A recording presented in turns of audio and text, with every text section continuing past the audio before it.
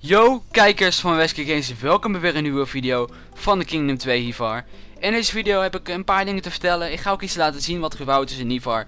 Maar het is best wel een belangrijke video vandaag, puur om even wat dingen, ja, updates te vertellen. Het is al een tijdje bekend op Kingdom, maar ik heb het, ik heb het eigenlijk nog niet in een video laten zien. Daar kwam ik toen net even achter, dus ik dacht, hé, hey, laat ik dat eens meteen even in een video neer gaan gooien. Want het is wel belangrijk dat ook jullie dit weten. Maar het komt er dus op neer dat er binnen DLG een nieuwe regel is. En die regel is dat mods mogen geen hertog en of koning meer zijn.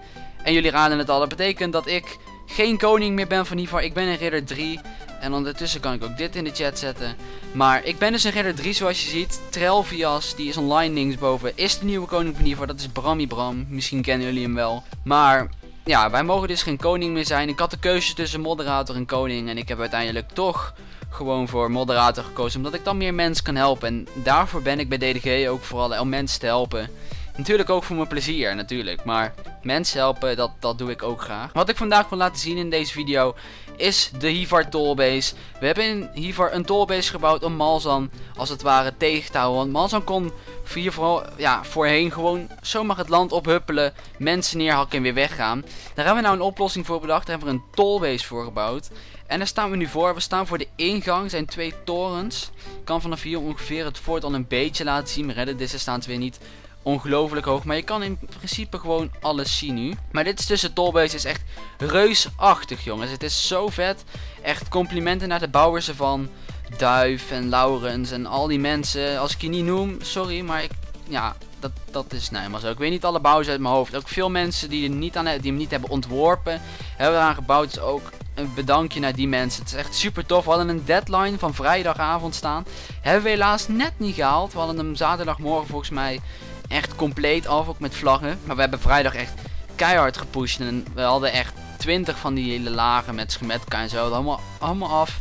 Dus dat was super tof. Maar we gaan de tollbase binnen. Want daarvoor is deze video eigenlijk merendeels. Ja, één om te zeggen dat ik dus geen koning meer was. En twee voor deze tollbase. Want dat is weer een heel belangrijk punt in Ivar. We hebben hier echt een W-kaart op gepusht gewoon.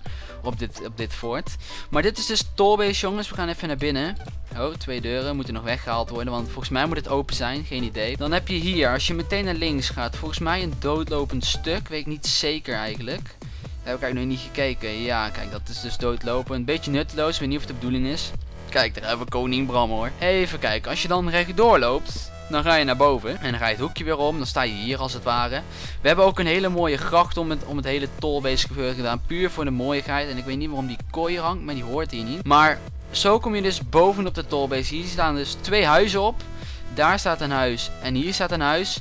Je hebt verschillende torens waar je in kan om te kijken uh, ja, om gewoon een beter overzicht te hebben van de zee. Want het is natuurlijk zo dat we hier de zee moeten defenden, de kust van Nivar. Verder hebben we hier nog kraampjes staan, waar je dus eventueel kan handelen, iets in die richting. Er staan overal ender chesten verspreid over de base, zodat je je loot en of spullen die je even snel wil storen tijdens, tijdens een gevecht Kun je daar snel in doen? Ja, dit huis. Ik weet niet, volgens mij is het mijn huis. Ik weet niet of ik dit officieel mocht claimen. Maar iemand heeft toch best wel een sign van mij opgezet. Dus ik neem maar dat dit mijn huis is.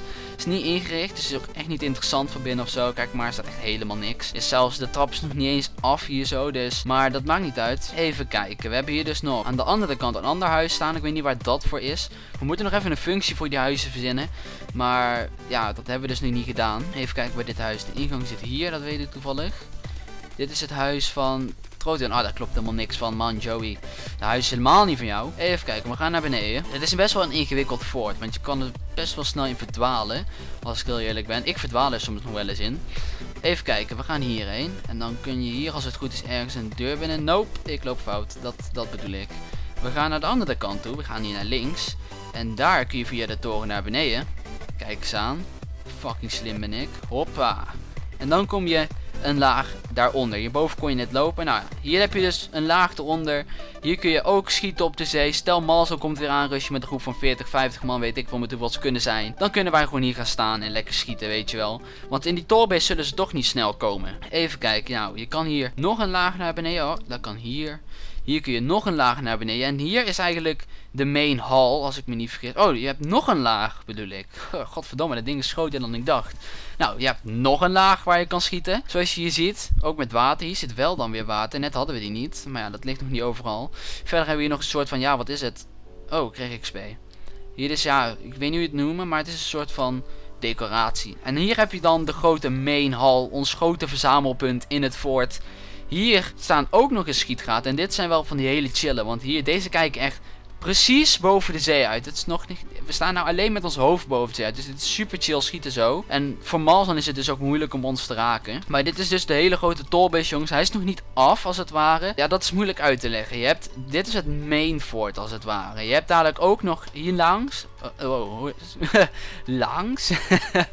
maar hiernaast heb je dus Ereos. En Ereos wordt daar helemaal aangepast naar het Fort design. Alleen daar zijn we nog niet aan toegekomen. Want dat duurt best wel lang. Het moet ook nog ontworpen worden.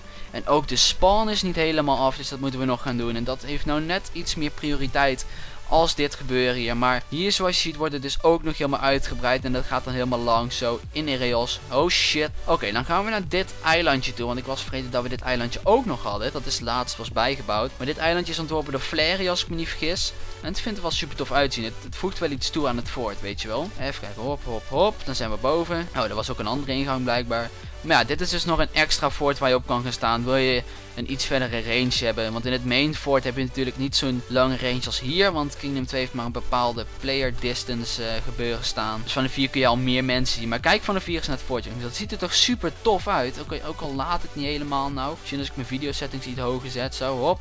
Laden. Kom op. Even kijken, nou dan gaat hij langzaam laden. Maar dit ziet er toch gewoon super tof uit jongens, zo'n fort. Maar zoiets willen we dus rondom heel Areals gaan bouwen. Dat Areals iets meer protected, dat het protect is. Dat het er weer iets mooier uitziet. Want als je heel eerlijk bent, het zag er een beetje PvP gericht uit. En nou is dit ook wel een beetje PvP gericht met die schietgaten. Ik weet het, maar ja, huh? What the fuck? Oh, lol. maar het is dus gewoon moeilijk om Malzan tegen te houden. Dus daarom zo'n fort. Hun hebben hetzelfde soort iets. Bij hun kun je ook moeilijk binnenkomen. Dus op zich is het wel gewoon fair. Maar dit was de video van vandaag. Ik hoop dat jullie er weer van hebben genoten. Vond je deze video nou leuk? Doe dan even een blauw duimpje omhoog. Wil je nou veel meer zien van Kingdom Ivar? Abonneer dan even. Want ik upload veel vaker video's van Ivar. En dan ook onder andere van de hoofdstad. En van allerlei andere dorpen in Ivar. Maar dan wil ik jullie nogmaals bedanken voor het kijken naar deze nieuwe video op Wesker Games. En dan check ik jullie later. Tchau!